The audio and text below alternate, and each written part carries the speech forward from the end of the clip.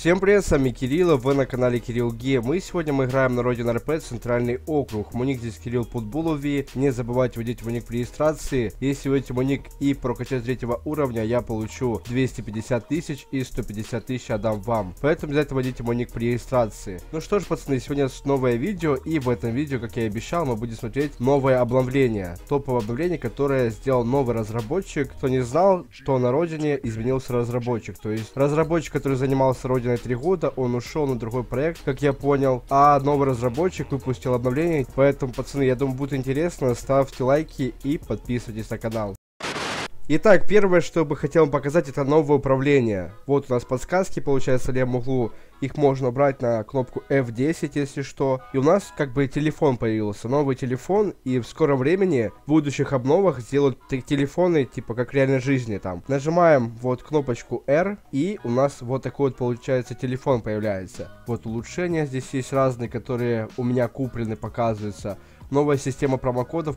Я просто хочу про промокоды снять отдельное видео, где я покажу свой промокод, там, в принципе, какие будут в нем преимущества и так далее. Это ждите уже в следующем видео. Итак, что здесь еще есть? Типа, мой ник это история ников, типа, когда вы меняли, у меня ник не менялся, поэтому у меня он не работает. Вот семья здесь есть, э, бизнес, которого у меня нету, авто, в принципе, очень все удобно на самом деле. Вот здесь наказание есть, задание, там, в принципе, все здесь, короче, есть. Можно позвонить, вот так вот это все выглядит. Реально очень, очень удобно, очень красиво и реально очень годно. Мне реально очень нравится, в принципе, как это выглядит.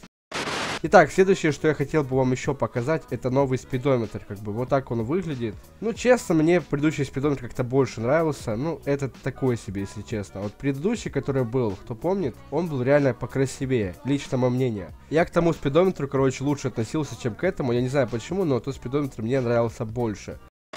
Следующее, что хотел бы я вам показать, это получается новая мини-карта и новая основная карта, но основную почему-то я открыть в машине не могу. Я не знаю почему, но в машине она не открывается. Насчет этой основной карты я не знаю, вот мини-карта по-любому такой не было, она такая, знаете, прозрачная более, такая симпатичная карта. Но было бы неплохо, если бы сделали, чтобы можно было там ее квадратной делать и круглой.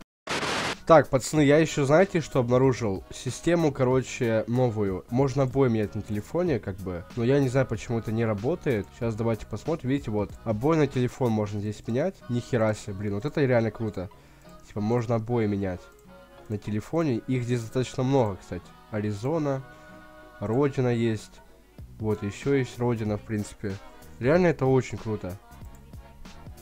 Очень прикольно выглядит. Давайте я вот это оставлю, короче. Блин, реально прикольно выглядит. Можно еще на телефоне обои менять. Вот это, пацан, реально очень круто. Также изменили полностью рулетку, теперь она выглядит совсем по-другому. Давайте даже посмотрим. Вот, рулетка удачи. Теперь она выглядит именно вот так вот. Так, давайте голд рулетку, может, покрутим, только надо изменить ее. Блин, я хотел изменить, она уже как бы покрутилась. Ну ладно, в принципе. И нам выпало 58 тысяч всего лишь, пацаны. А я потратил на рулетку 90 кредитов. Ну, в принципе, ладно, ничего страшного.